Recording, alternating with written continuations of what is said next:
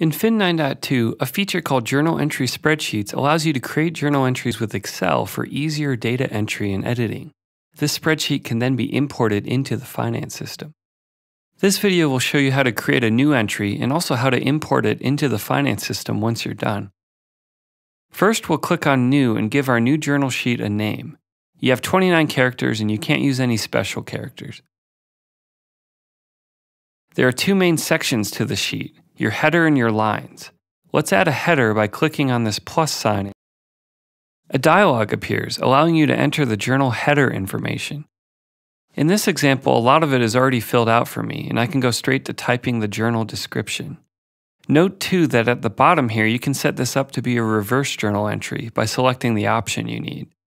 Once you're done, click OK to add the header information. Now we can work with the lines. By clicking on this plus, I can add a line to this journal and then type in the information into each column as needed.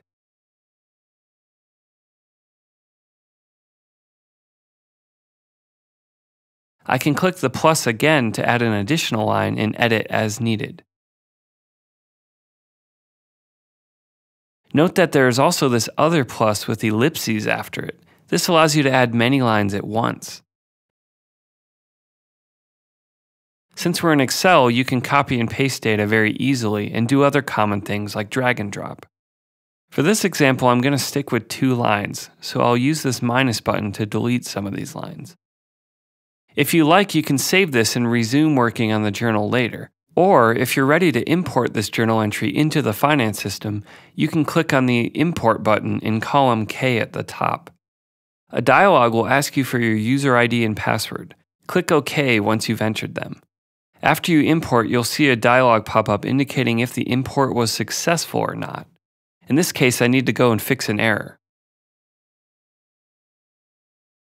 Once you fix the error, you can submit again, entering your password and clicking OK.